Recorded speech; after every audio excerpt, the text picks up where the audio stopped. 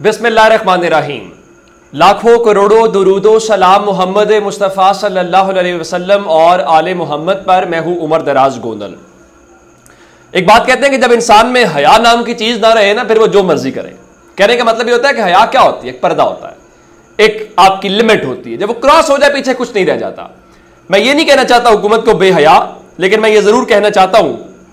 कहते हैं कि बेजती और सर्दी जितनी ज़्यादा महसूस करें, उतनी ज़्यादा लगती है, और अगर आप महसूस ही ना करें तो आपको लगती ही नहीं है। इस हुकूमत का यह हाल है। इस हुकूमत को पता है, अवामी महाज के ऊपर उसकी कितनी मकबूलियत है, और अवामी महाज के ऊपर उनकी कितनी कबूलियत है नंबर वन और उसके बाद ये क्या कर रहे हैं? अब ये कह रहे हैं कि हम अपने आप को करने के लिए, हम किसी हद तक भी जाएँगे। आपने इमरान खान की हुकूमत गिरा दी थी कि आप मर्ज़ी का कोई ओहदे के ऊपर कोई सरबराह लगाना चाहते थे, आपने लगा लिया, क्या हुआ? ठीक है, आपको हुकूमत मिल गई, हो सकता है इलेक्शन में आपके नतज तब्दील हो गया सब कुछ हो गया। लेकिन क्या आज इतना कुछ हो रहा है? रेलिवेंट कौन है? नवाज़ शरीफ या इमरान खान? नवाज़ शरीफ, आपको पता है कि आज सुबह रायवेंट से निकले, इस्लामाबाद पहुँचे और वो कल तक तो वोट को इज़्ज़त देते थे, अब ये जो आईनी तरमीम हो रही है, उसमें वोट देंगे। और उनकी शहबाज शरीफ से मुलाकात भी होनी थी तो जनाब सूरत हाल यह है कि हुकूमत जो जाहरी है और वो हुकूमत जो ज़ाहिर नहीं होती, जो दिखाई नहीं देती और असल हुकूमत पाकिस्तान में वही होती है, वो सब घोड़े दौड़ा रहे हैं। बात नहीं बन रही। कैसे? कभी मौलाना फजल रहमान को मनाने की कोशिश की जा रही है। उधर से फुर्सत मिलती है तो फिर तमाशा लगाते हुए कभी अख्तर मैंगल तक को, ये वही अख्तर मैंगल है जिनके मतलब हमें बताया जाता है, वो तो रियासत मुखाल है, वो तो फला है। शहबाज शरीफ ने पहले फ़ोन किया, बात नहीं बनी। फिर जरा अंदाज़ा कीजिए कि हुकूमत की तरमीम के लिए कौन फ़ोन कर रहा है? सादिक संजरानी। अब पीटीआई वाले भी गवाही देंगे, सादिक संजरानी किन का नुमाइंदा है, वो हीरा किसका है? ये वही लॉट, वही कबील है, सादिक संजरानी अनवारुल काकड़ अनवार काकड़ जो वज़ीर आज़म निगरान था, मोहसन नकवी, सरफराज बुगटी, ये सारे हीरे हैं जो तराश के लाए गए हैं, इस कॉम पे मुसलत किए गए हैं। तो सादिक संजरानी ने टेलीफोन किया और सेनेट में कहा कि हमें दो वोट दें और सेनेट में अगर दो वोट ना मिले तो दो तिहाई अक्सरियत नहीं मिलती, आप जो मर्ज़ी कर लें।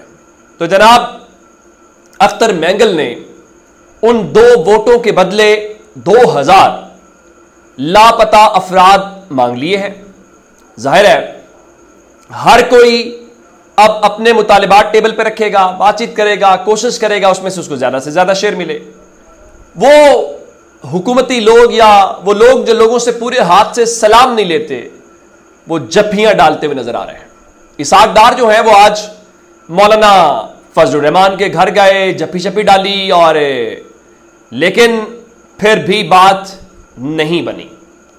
और उसके बाद इतलात यह है कि इस वक्त हुकूमत और अपोजिशन अपने तौर पर कोशिश कर रहे हैं, लेकिन बात बन नहीं रही।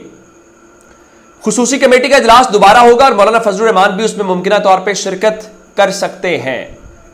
अच्छा इसके बीच में क्या हुआ कि एक तो मोहसिन नकवी फिर दौड़ के पार्लियामेंट हाउस पहुँचे और खसूसी कमेटी के इजलास में वो बैठे हुए थे और आज़म नज़ीर तारड़ और साग डार को जो है, बाहर बुलाया और ये कहा कि उनको साथ लिया और अपने चैम्बर में चले गए। इसाक डार की, आज़म नज़ीर तारड़ साहब की क्या कह सकते हैं? वो तो चाहते तो मोहसिन नकवी शहबाज शरीफ को भी इशारा करते। और शहबाज शरीफ की क्या मजाल की वो इनकार न करते मोहसिन नकवी कहते मेरे चैम्बर में आ जाते वो वहाँ पर भी पहुँच जाते अब सूरत हाल इस वक्त है क्या? सूरत हाल ये है कि मौलाना साहब से हुकूमत की मुलाकातें हो रही हैं। लेकिन अभी तक इतलात के मुताबिक मौलाना साहब नहीं मान रहे। तहरीक इंसाफ अपना घोड़ा दौड़ा रही है और अब से थोड़ी देर पहले तहरीक इंसाफ का वफ जो है वो मौलाना फजल रहमान से मुलाकात के लिए वहाँ पर पहुँचा है। अब कुछ मामला के ऊपर जहाँ चले ये मान लेते हैं कि मौलाना अभी तैयार नहीं है, लेकिन इतलात आ रही हैं कि एक तो हुकूमत, हम कैसे देखते हैं कि हुकूमत को शिकस्त हो रही है? आज सुबह इजलास था फिर आपने शाम चार बजे इजलास की बात की, तब्दील कर दिया और अब सेनेट का जो इजलास है, उसका वक्त भी तब्दील हो गया और बताया गया जो सेनेट है, वो चार बजे की बजाय अब शाम सात बजे होगा और सेनेट के जो दफातर हैं, वो इजलास ख़त्म होने तक खुले रहेंगे। उनसे हट के विफाकी काबीना का इजलास था, वो भी ताखीर और सब कुछ किया गया। तो बात बन नहीं रही। अब बैरिस्टर गौर, उमर यूब साहबजादा हामिद रजा जो है, वो मौलाना साहब के घर पहुँचे हैं।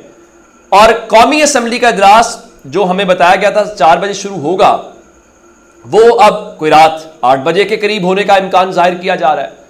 यानी एक पूरा तमाशा है जो इस मुल्क के अंदर लगा हुआ है और बिलीव मी इन चीज़ों का पाकिस्तान के लोगों से कोई लेना देना नहीं है कि सिर्फ़ और सिर्फ़ चंद खानदान हैं और ये जो लोग हुकूमत के अंदर हैं, ये उनके मफादात का तहफ़ है। या इस मुल्क के अंदर एक तबका है जो हुकूमत में तो नहीं है, लेकिन ज़ाहिर है वो हुकूमतों से भी ऊपर है। शायद वो चाहते हैं कि जजेस को सबक सिखाया जाए। अब ख्वाजा आसिफ दावा कह रहे हैं कि हमारे पास दो त्याई अक्सरियत मौजूद है और उधर अता तारड़ साहब कह रहे हैं, जनाब, हम नंबर गेम का मसले नहीं, हम अच्छी खबर सुनाएँगे। असल बात यह है कि ये सारे तमाशे के बीच में क्या कुछ हो रहा है? अब इतलात आ रही हैं कि दोनों तरफ़ से तजावीज़ हो रही हैं। बताया जा रहा है जी, चीफ जस्टिस का जो तकर्र है, उसकी बजाय पाँच जजेस की बजाय जो तीन जजेस हैं, उनका पैनल लाने की तजवीज़ दे दी जाए। तो मौलाना फजल रहमान ने भी हुकूमत की दो तजावीज़ दी हैं। तो ये सारी बातें हैं, लेकिन ज़ाहिर तहरीक इंसाफ के ऊपर एक दबाव भी होगा कि आप कल तक इस असम्बली को फॉर्म 47 की असम्बली कहते थे। और अगर आप उनके हक में वोट देंगे तो भी आपका वोटर, आपका सपोर्टर आपसे नाराज़ होगा। और हुकूमत के मुतलिक इतलात ये हैं कि उन्होंने मुजवजा आईनी तरमीम के दो ड्राफ्ट तैयार कर लिए हैं।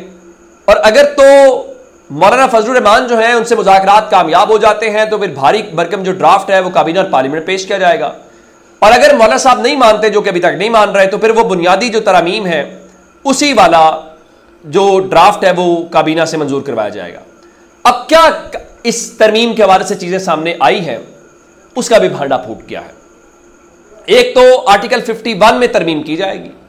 और यह पाकिस्तान तहरीक इंसाफ को मखसूस नशस्तें देने के हवाले से है नंबर वन उसके बाद एक और जो इंपॉर्टेंट बात है, वो ये है कि जी चीफ जस्टिस सुप्रीम कोर्ट के जजेस में से हुकूमत लगाएगी, आईनी अदालत के बाकी चार जजेस भी हुकूमत लगाएगी।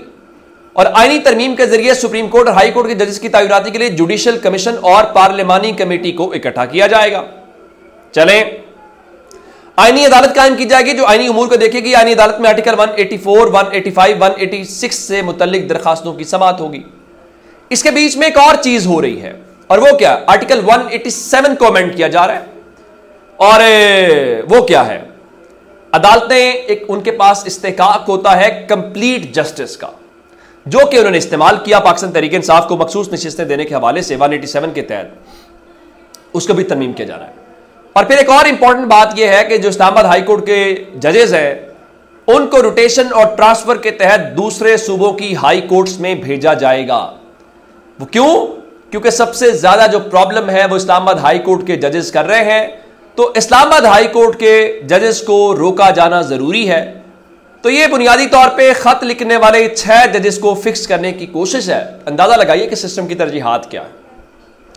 फिर इतलात यह है कि जो सिकंदर सुल्तान राजा हैं, चूँकि उन्होंने बड़ी खिदमत सर अंजाम दी हैं तो आईनी तरमीम के ज़रिए उनको भी नवाजने के हवाले से काम है। वो क्या है? कि जी, चीफ इलेक्शन कमिश्नर की मुद्दत मुलाजमत मुकम्मल होने पर जब तक नए चीफ इलेक्शन कमिश्नर नहीं आ जाते तो मौजूदा इलेक्शन कमिश्नर सिकंदर सुल्तान राजा काम जारी रखेंगे हुकूमत की तजवीज़ है हालाँकि पहले यह था कि अगर चीफ इलेक्शन कमिश्नर रिटायर हो जाएँगे तो रिटायर होने दे। जो इलेक्शन कमीशन का सीनियर मेंबर होता है, वो बतौर कायम मकाम चीफ इलेक्शन काम करता है। और अब ये तमाशे लगा के इस मुल्क के साथ खिलवाड़ किया जा रहा है। चलें देखते हैं क्या नतीजा निकलता है अपना मौसर ख्याल रखिएगा। खुदा हाफिज़।